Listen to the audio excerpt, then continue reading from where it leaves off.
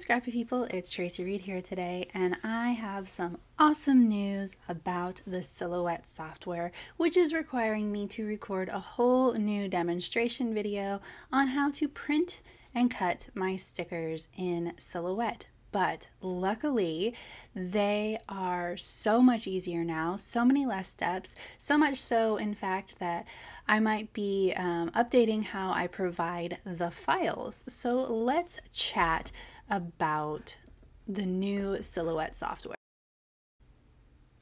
So my files are provided in a few different ways and the way that I have provided these files in the past has been to make it easy for you to um, print and cut in Silhouette. So I have the fussy cutting files which come with the black outlines for anything that needs them. And then I also have individual files so that you can, you know, print and cut individually. And then I have with bleed and silhouette. And these two were meant to work together so that you um, would open up one of these with bleed PDF sheets and you can see that there's extra space around each of these stickers. You would open up one of these in conjunction with one of these silhouette outlines to create the fussy or the the outlines for the silhouette machine very easily to read. However, there has been a update for the Silhouette software, and these two are sort of moot at this point because I now provide these fussy cut no lines, which are actually work for the Cricut as well. That's actually why I started providing them because I have a girl on my team who has a Cricut, and so she said that these would work better for her. But I've discovered that they also work really well in the new Silhouette software.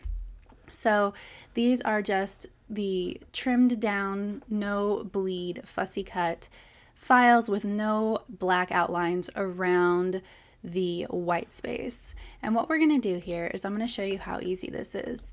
We can just go to File Open and go to the correct file here. So I'm going to open up my Love List stickers. And if I come in here to the fussy cut no lines, I can just double click and open. And you will see that the silhouette already creates the outline for all of the fussy cutting lines, but it gets better. The one thing that I have noticed with the new silhouette software is that the most recent version will open up these files really, really huge. So I actually backed up a few versions to a less recent version. And while it no longer opens up my files huge, it does um, center them in the top corner. And I believe that there's a setting to fix that. And we'll go through the settings in a minute. But from here, all I have to do is go into my page setup turn on my registration marks and I still want to have the registration marks the smallest that they possibly can be for these files.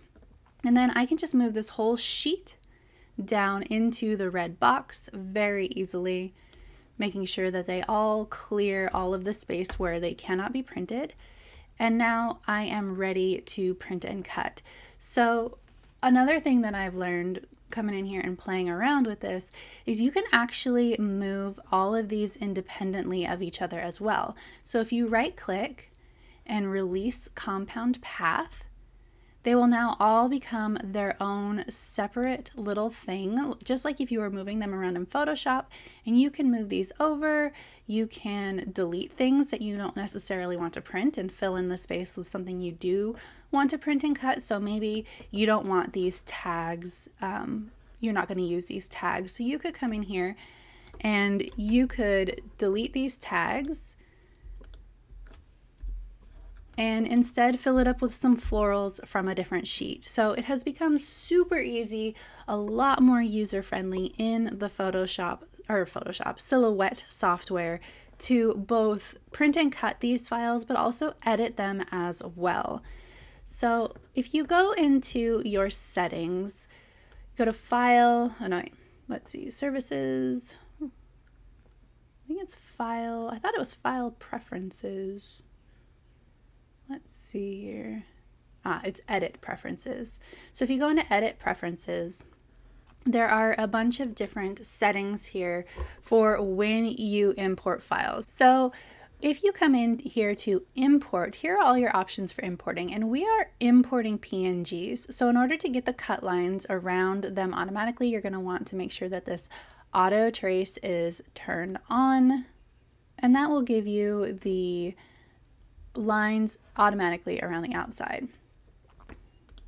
Okay, so from here, let me back up a couple and get me my tag back. Okay, so from here, once you are ready to print and cut, it is super simple. You just go to File, Print,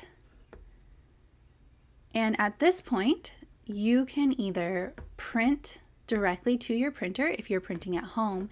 And if you're not printing at home and instead sending this off to a um, office supply store to be printed for you, you of course want the registration mark so that it will work for your um, silhouette. So you would want to come in here down to PDF and just hit save as PDF instead of print and it will give you the option to save it to your hard drive and then you can upload that to the um, office supply store and I have a video on that already that I will link below that I previously recorded on how to print through an office supply store.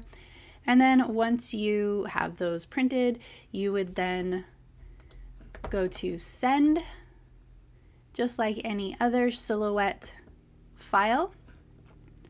And you would select the appropriate paper settings for whatever you printed on and send it to your silhouette.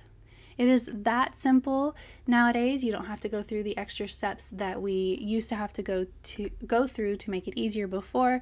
And I'm really excited about this change.